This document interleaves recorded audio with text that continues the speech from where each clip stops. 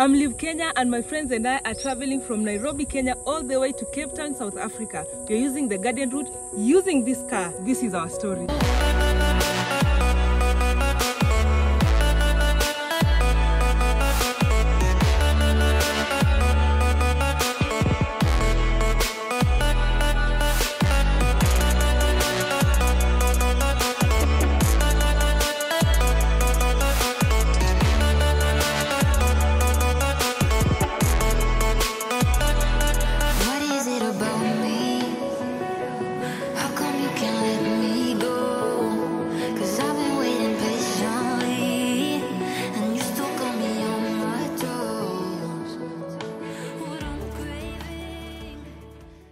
Welcome back to my channel. We are on our second leg of our trip. We are doing a road trip from South Africa back to Kenya. Morning from Windhoek. A bright morning, as you can see.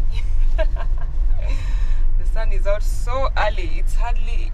It's like 7:30, and you can see the sun is so hot. The heat and the sun in Namibia is just on another level. But we are getting used to it. Today, our plan for the day is to go to Swa- Swakopmund and everyone has been recommending that we go there. It's only that we felt like we did not have much time. But since everyone is like, you guys have to go there, you guys have to go there, just decided that we are going there. We've done some research here and there of things to do in that place. Yesterday we did a brief tour of the city before we got, uh, we met a Kenyan. Moses, he's a very interesting guy. Hey, he's treated us properly. He gave us a Kenyan welcome. You know Kenyan welcome? We had a, a royal treatment. We even got to meet uh, one of the of the people who work in the Kenyan consulate. I will not mention the name because they prefer not to be mentioned. It was good vibes, and they have a Kenyan community in Namibia. So if you ever, if you're a Kenyan and you ever, you, you ever wish to come to Namibia, there is a whole community, like an organization. You know nowadays in Kenya, foreign is it foreign affair? Diaspora is actually a department on its own.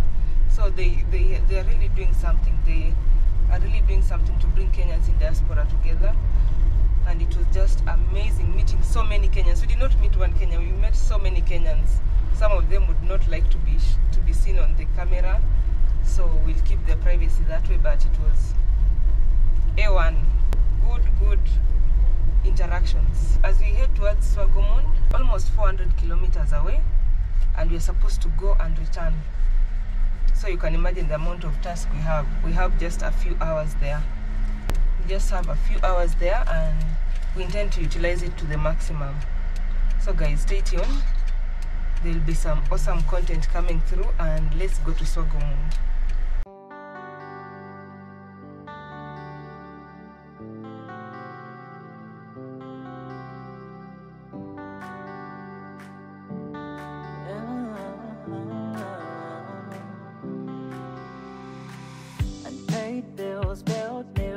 Ah. And I still have to deal with anxiety.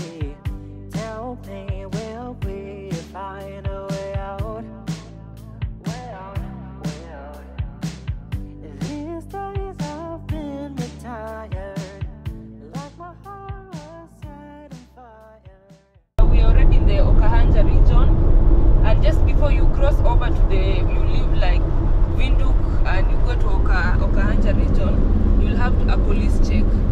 Now, one thing we realized is since we got into Namibia, every every every car, whenever it just passes, you'll just realize that they have their fog lights on.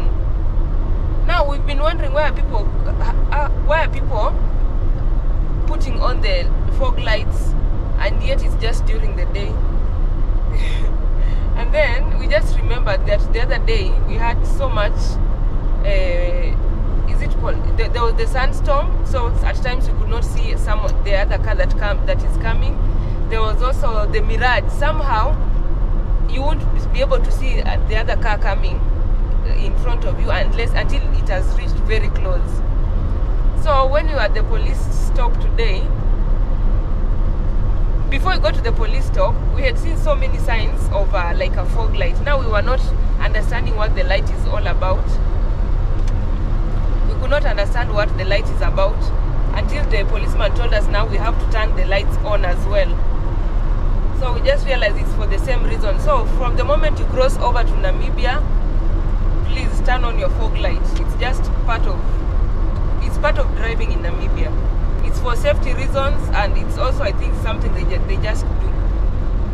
So the police the police check was just to ensure that I have a driving a valid driving license and and uh, our passports are also we have like the entry stamp. So that was all. This is our first encounter with the police in Namibia. We've not seen we've not had any encounter with the police before the border. Like after the border, we've not had any other encounter.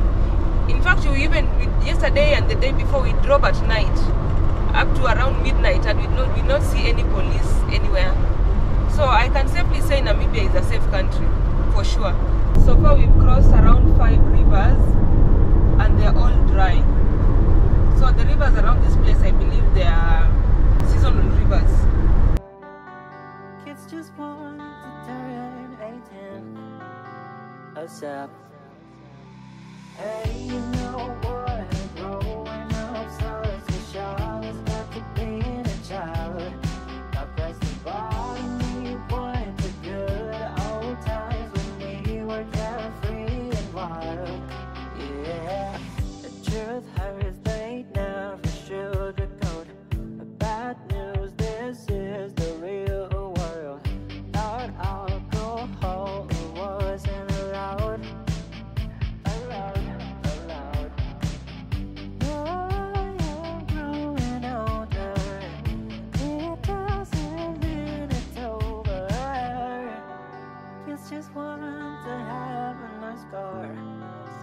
So bad. Hey, you know what? Growing up so special is back to being a child. I press the bottom, we point to good old times when we were carefree. tea break. Everyone else in the car is full apart from me. So I'm having my tea break. It's one of those resting places. There's a, you see? Yeah, even there's another driver there. So drivers in, in, in the southern part of Africa. Even Namibia, people drive at a very high speed. At times you, I'm driving at 120 and people just pass me you will think that I'm, I'm not driving like I'm, I've just stopped the car on the road. I don't know what speeds those people drive at, but everyone understands their car, you know. And I understand my potential. 120 is good for me. Beyond that, let's just stay safe. I have a long way to go, and home is far, far, far away. I've realized that um the road from Wheels drift. Vioolsdrif to the capital city, Windhoek. The road there is, it's not, it does not have potholes. Some parts of it is like smoothly tarmacked. Some part of it is still a bit bumpy. I think it will need some repair here and there, but we assume that maybe because of the of the heat, the road tends to to get spoiled very fast. But the road was not smooth that smooth. But this one from from the capital city from Windhoek all the way to S- Swakopmund but as in so far very good road. Very very good road. It's smooth and I think it's properly maintained I don't know if it's because of tourism or what but it's very very good road but the other one eh, I was worried everyone else told us that the road in Namibia was better than South Africa, and, and then we were like, ah, the road is not does not have potholes. Some parts are smooth, but eh, other parts, eh, no, no, no, no. It's not potholes. It's just a bit bumpy. We've not come across any Subaru in Namibia so far, and everywhere, everywhere we pass, people are just standing to look at that car, like. What, what, which kind of a car is that? So now Subaru the unique car on the road.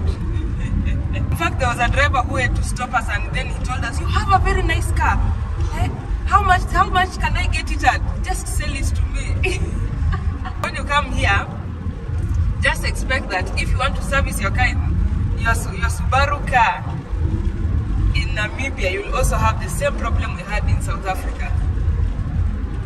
It's not a very popular is it really popular? It's not a very common car around here.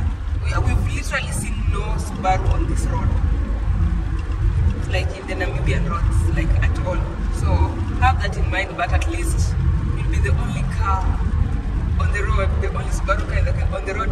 Uh, also, I think the number plates, the number plates also could create, uh, um, attract some attention because everyone wants to know where we come from.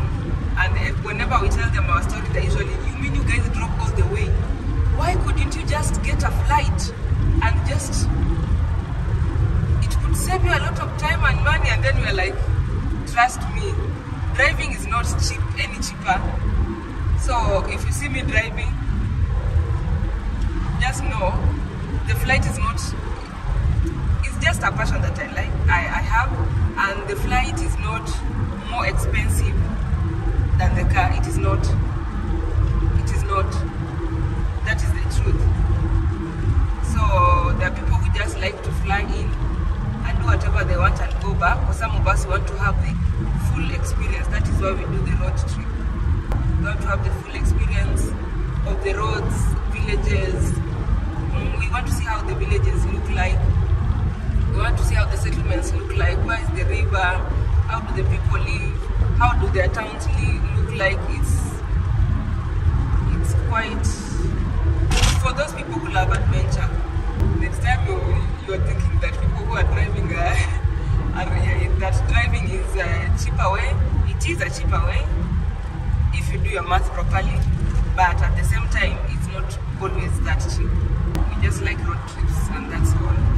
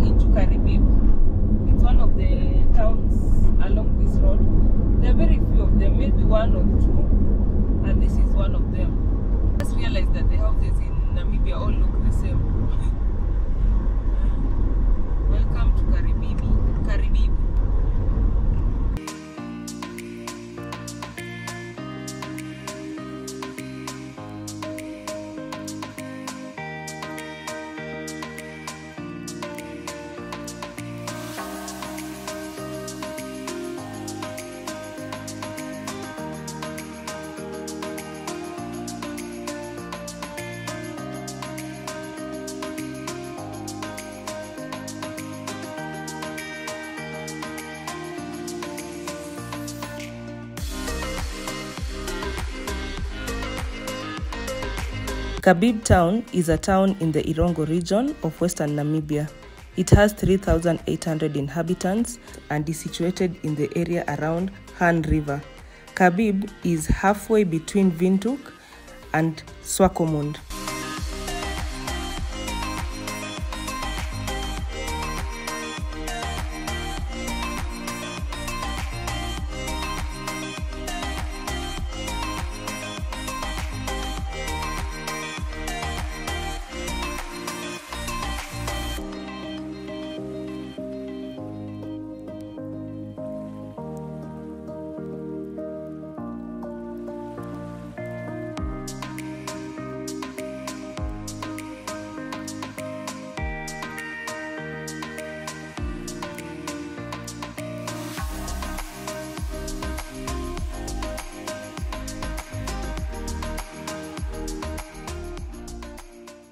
We made a quick stop to stretch our legs and exchange drivers.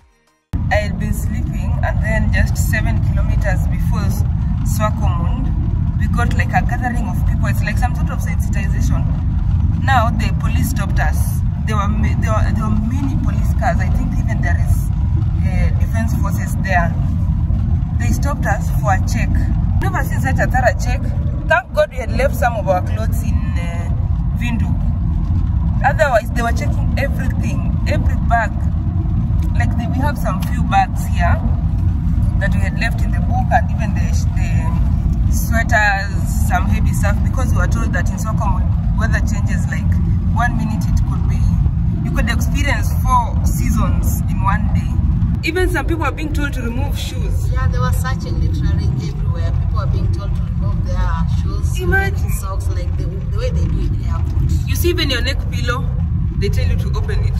You, you see, if, especially those the ones that have a zip, you need to open it. I don't know exactly what they were looking for, There but so many police cars and uh, Too many, in fact. government organizations. there, there were like uh, there were like I don't know seven motor motorbikes, written police, police. There were so many cars, like more than twenty cars are there. Eh, and we were like, what? What could they be searching? Oh, they were customs, yes. There were plainclothes policemen, The military. the military, Military there, police. the road, road, road safety. Oh, road. Oh, the, where we were, the, the department where we went to pay the amount. The, Yes, they were still there. Yeah. The, the traffic police there. So, the, so the one police would ask you for this, the other enforcement officer asks you for this, but they were searching all cars. Eh. Come to. Well, that was something else. So beware of that. Don't carry anything illegal or something you cannot explain.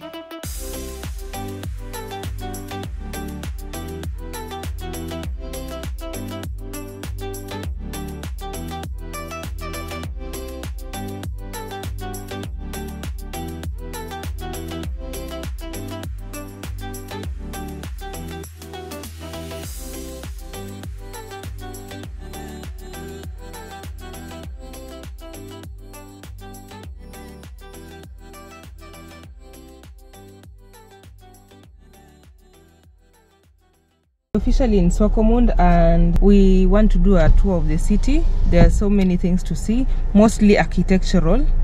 So we, if we'll get a chance, we'll get out of the car and take photos. If we want, we'll just record it from a distance because some of them are private property. So, and you know, Namibians are a bit reserved. So you cannot just go and walk to someone's home and start taking photos. So, but we'll ensure that we show you as much as we can. So, yeah, let's do a city tour and then we'll see how we can access the ocean. This place has very nice architecture. Look at that. Yeah. This is very beautiful. This is very, very beautiful. This is a crystal gallery. I'm hoping to get in here later. It's where you get to see all kinds of crystals. I'm sure it's one of the few that are in the world. There's another one there. I think there's another building there. The police the police station looks really good. They have very nice architecture. Whoa, look at this one. It looks Indian, it looks everything, a little bit of everything. So technically guys, I'll just be showing you everything. Wow. So this looks like a mall as well. So this must be one of the older buildings as well. Behind these houses is the beach. So the beach is just very close. I love the fact that these people have optimized the palm trees. They look really good on the town. So this is the museum. Uh, we've been to other museums back in in Windhoek and it was free of charge. I think we should find out if it's free of charge here too.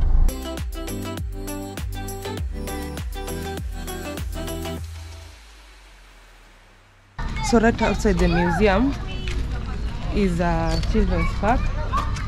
I think it's free of charge. And then there's a jetty.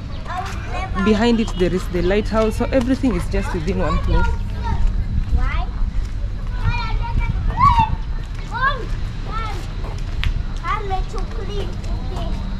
So if you want to get to the museum, these are some of the rates.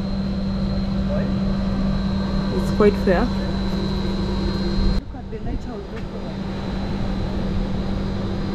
Surrounded. I love the architecture and then it's surrounded by some palm trees.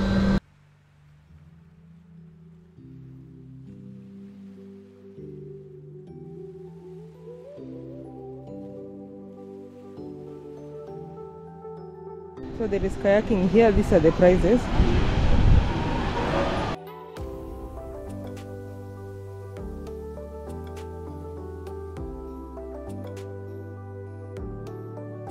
Which town does this place remind you? Uh, Bay, You think? a little bit of Mossel Bay, and which other town? Port Elizabeth. Yeah, Port Elizabeth. Yes. It's very similar to Port Elizabeth. Sure. yeah. Whoa!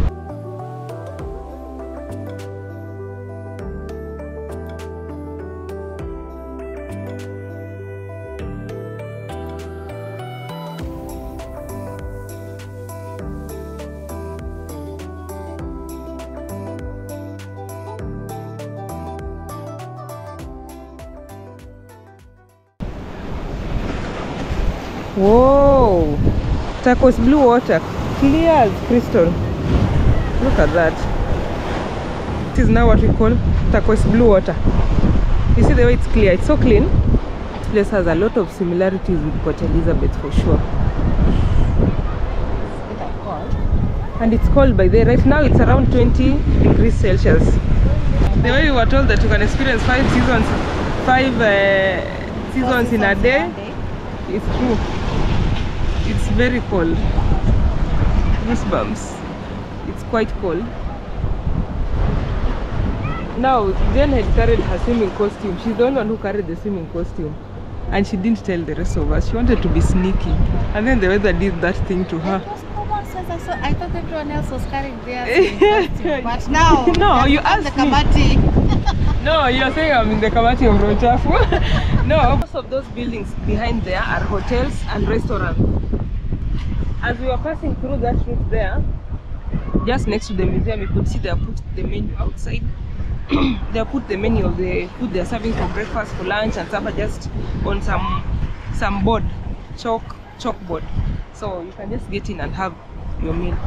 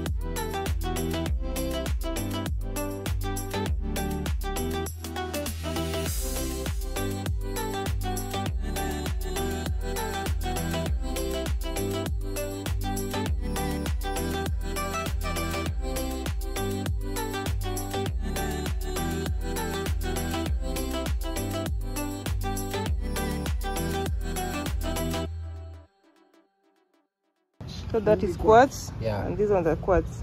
The, And then the green ones are the green ones are can, uh, uh, the, the fluorites. topaz are which ones? Topaz is this one. This one is topaz. Okay, I don't think I'll ever understand. How about the black ones? Black one is black tourmaline. Oh. Yeah. So they are they are squirrels Very ne? less They are named that one. They are coming. Yes. Oh, so there's an. int- Oh, maybe I should read the book. Back to the outside, mm-hmm. then you will see the big mountain. The Oh. one. So it one just has two. The long one from The long Omaruru to Karibib. Ah, So it has a very, very big, big. it's a big, big, big mountain, and it can also contains the big things, like bigger Oh. ones, even bigger than me also. Okay. Yeah. Right opposite the museum is the lighthouse. And as I told you guys, in Mossel Bay, I managed to get into the top part, the highest peak there. And I've never looked at lighthouse the same way. So this is a very nice place to take photos. Could come and just take a photo here. I believe that they just works the same way as the other one.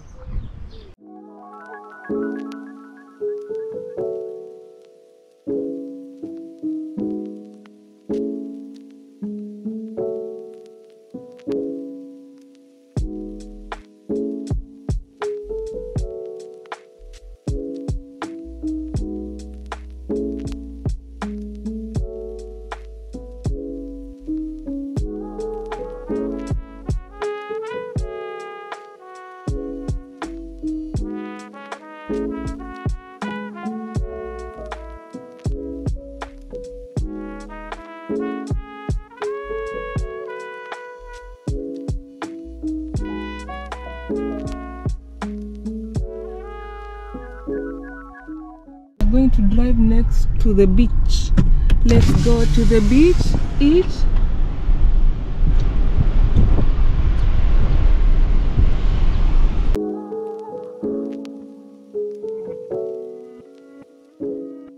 Building behind Adia is called EA Boutique Guest House.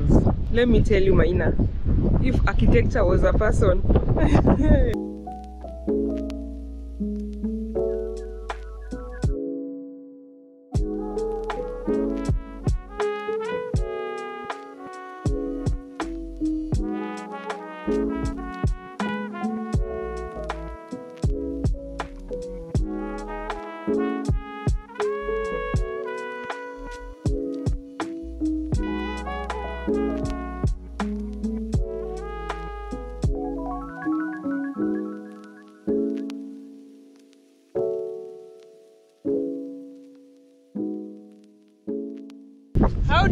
coast? So beautiful.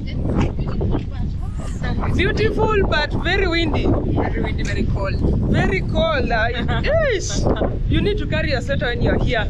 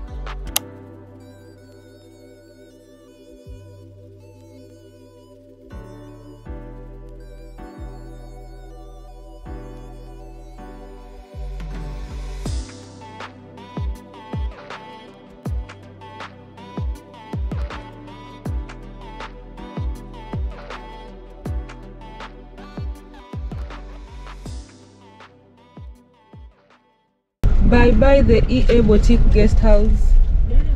It was a pleasure meeting you. Yes.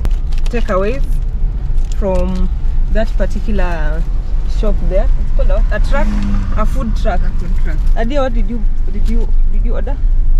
I ordered chicken wrap Uh-huh. and it's magical.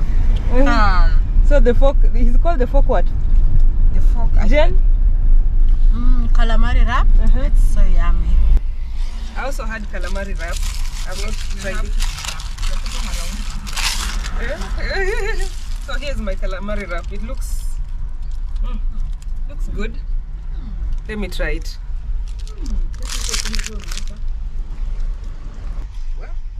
Really good. I'm telling you.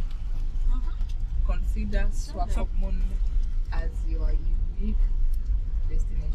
Yes, as your honeymoon destination. Stop going to cliche places. This place is very similar to Port Elizabeth because you can just see how everything is constructed along the um, along the beach. There are so many stops. There is even a gym, not gym but gym equipment somewhere. The outdoor gym equipment. There are places to, to sit and rest. There are pavements to just walk. The palm trees are also well maintained. And then there is this tree.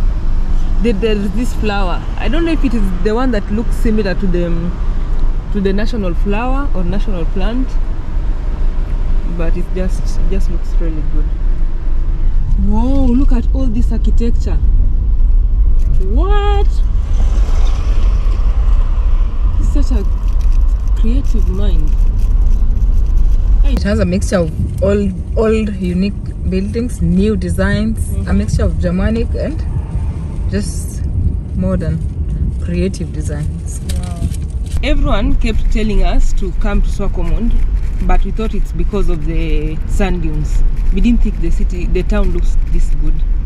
But I'm actually amazed. If you come to Namibia, don't pass out on the on Swakomund. It's a very beautiful place, especially if you love photos like me. You'll be at home here.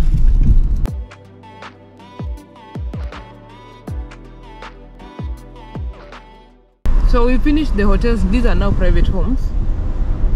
They look like very beautiful apartments with a sea view. Eish. After traveling to the southern part of Africa, all I can tell you guys is work hard, have money. Let nobody tell you that money is bad. Money is good. Money is good. Huh? I'm for these people that don't people People who don't have money always say money is bad. The problem is not the money, the problem is how you use the money and if you allow money to and it, it, I think the problem is how you use the money and if you'll allow ma- money to be like the center of your life. Like you lose humanity you start looking at people who don't have money as nothing. That is the problem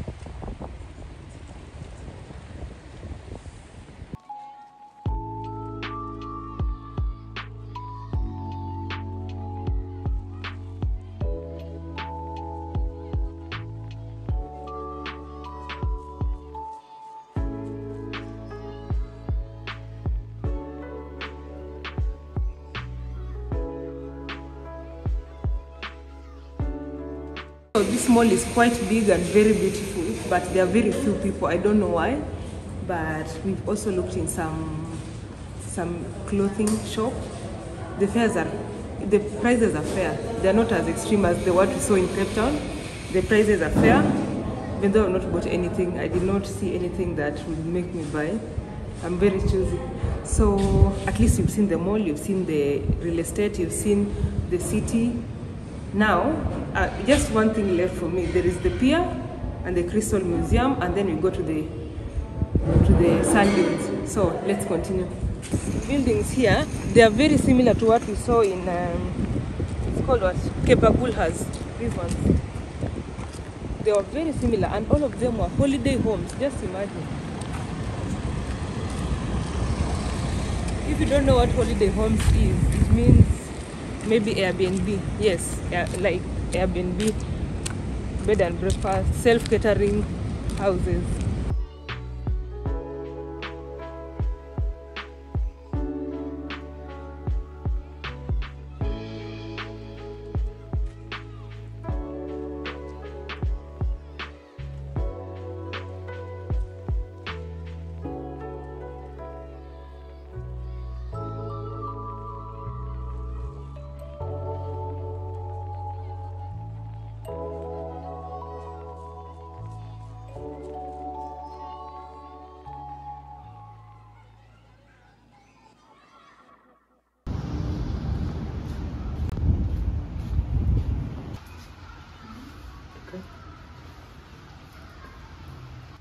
I believe this is how you you find them. So this is a crystal cave. So many crystals embedded on the walls. Right now there are walls, but it could have been a cave somewhere or in a mountain somewhere. So this is just an illustration of the same.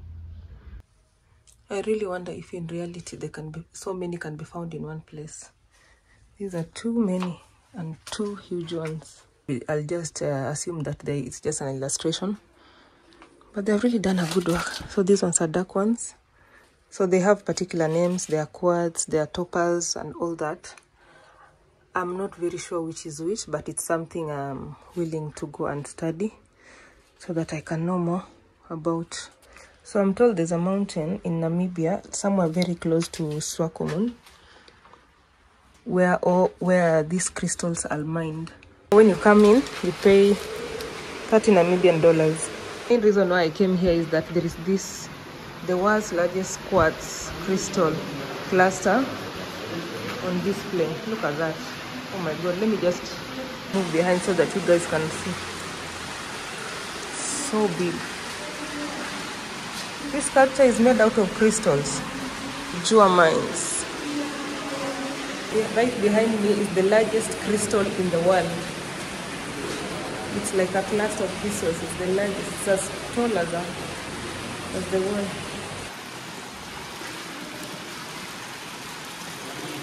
There are so many huge here. Do not touch. This is my favorite.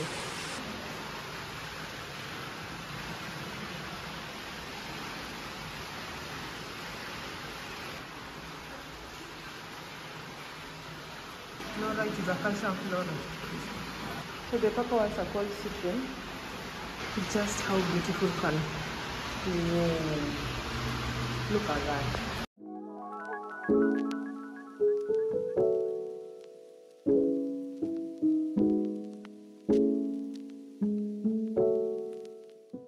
You can just pause this page, this page or this uh, part of the video and just read because I'm also learning.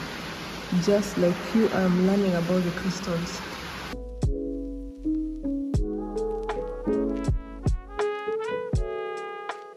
Now this one is the most interesting one with so many colors. It's called Pietersite or something. It's very unique because it's just unique to Namibia.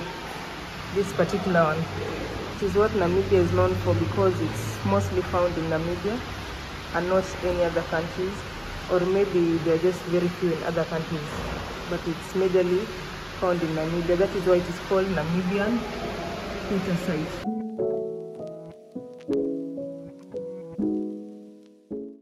So guys, I've seen all kinds of crystals. Uh, I, I used to watch some some series on on TV about the prospectors and how they mine crystals and different different kinds of stones, and they would get like very tiny ones in very like tiny pockets in very different places. They would even dig for days and days and get nothing. Now, you see the very huge crystals that I've seen today. Imagine they came from. I'm told the the attendant told me that they came from one farm. Very huge ones. It's one of those towns on your wh- while you're coming to Swak Swakopmund. it's in one of those towns just the, one of those tiny towns it was just found in one farm that was so amazing now the largest crystal in the world is 14 tons weight its height is as tall as a wall it's so huge it was a privilege to see it and i've seen different kinds of crystals and i'm seriously going now to study about them because it's just an eye-opener.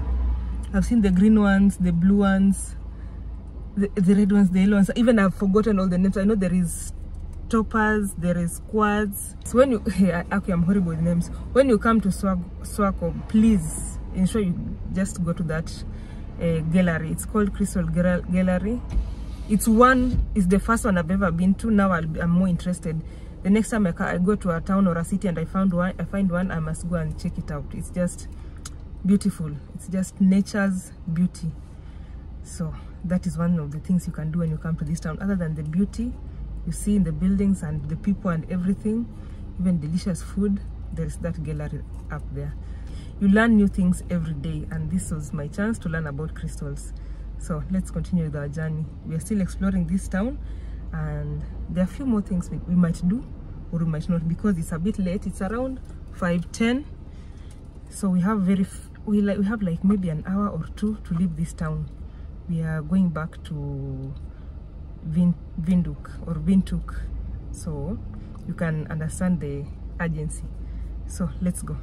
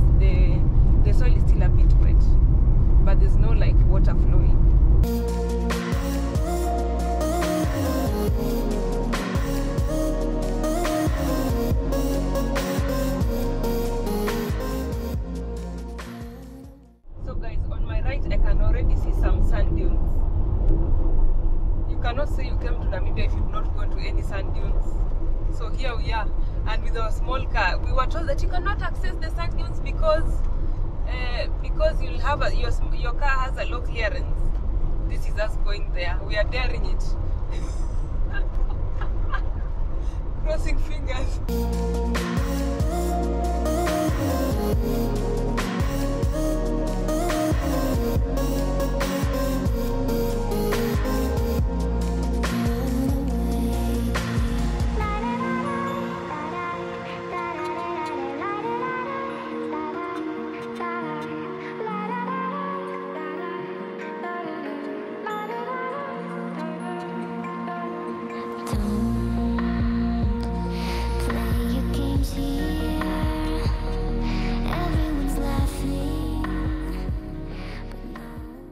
Welcome to Dune 7. You can see that you can go by. There is a restaurant, there is sandboarding, and there is they are called drinks. So we're just following. We've been following the Google map. We just put there Dune 7, and here we are. There are two routes. You can either use the route that we used. There's another one where you go, you pass through. It's called Walvis Bay. Yes. Yes, I hope we are hoping that we'll pass by there in good time. But I'm excited to go up the dune. In my life, I've been to two uh, to, to sand dunes in two places. One in Lamu, one in Mambrui. Mambrui is in Malindi. So this um, I believe this is going to be the biggest I've ever been to. Wow.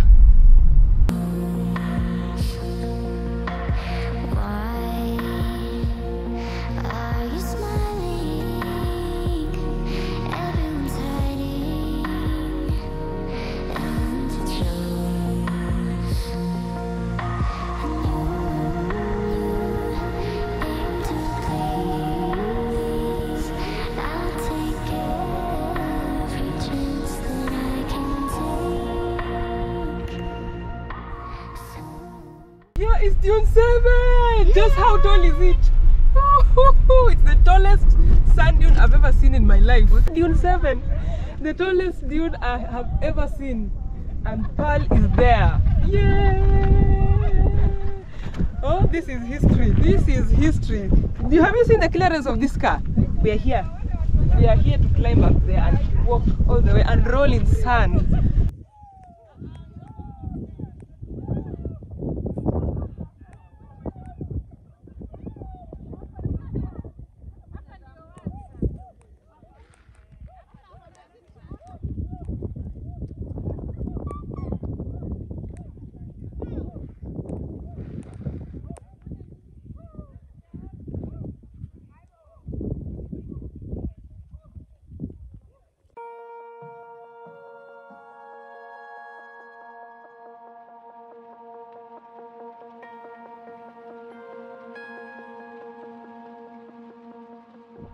Is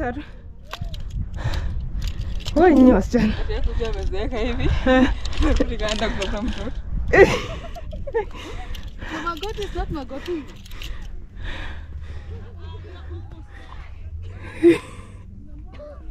Why am I the one falling off? Ati- Look at these ladies. They are saying that mmeamua pesa yenu wamaliza. Eh? Why will you allow your money to stop your reggae? Whoo! Jesus. I'm exhausted. Eh. I know I'm almost at the tip, but then I'm tired, I'm panting, I'm out of breath. Well, look at how beautiful this place is. Let no one lie lie to you. Getting up this sand dune is an extreme athletics, extreme tax, or task. Even even the lusungu has disappeared. Hadi amka. No, I'm not giving up, I'm just, Just take it as a gym, as a lesson. just breathing a little. It's like climbing how many steps? This is a lot, especially because it's a climbing.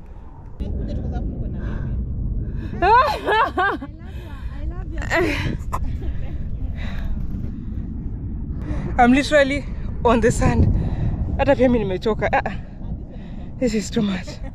I was laughing at idea but mm -mm. it's too steep. By the idea it's too steep here. But it's a, bit, a beautiful view up here. Yeah, but you need to go further. I'll go. Yeah. Huh? I'm meant for this. Where is Yesu anatokezea piko kwa story wewe? Just look at the way sand inakuwa.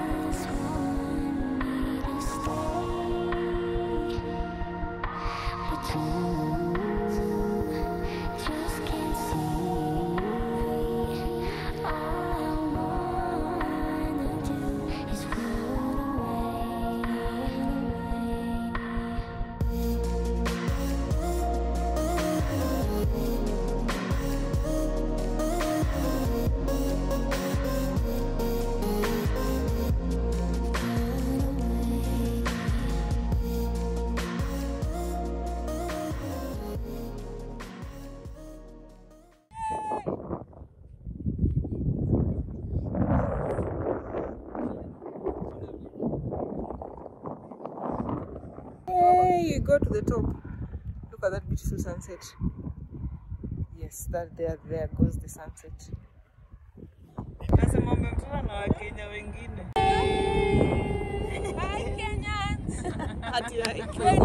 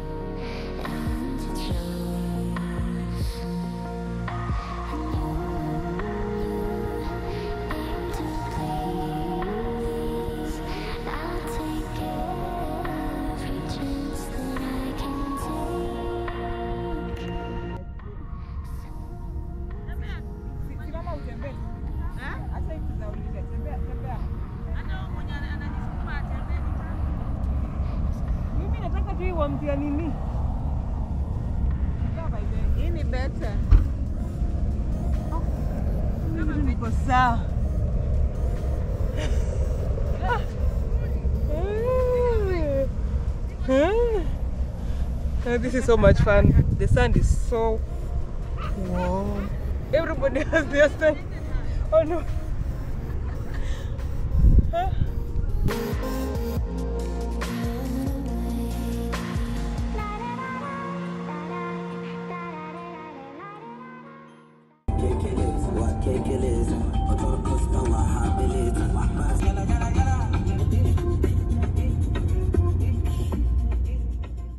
Will be heading towards Zambia border and then we will go all the way to Malawi, our ninth country. So guys, stay tuned for more episode and if you're new to the channel, welcome aboard. Please consider subscribing to the channel, like the video and comment below on what you think of the journey so far. Until the next episode guys, bye.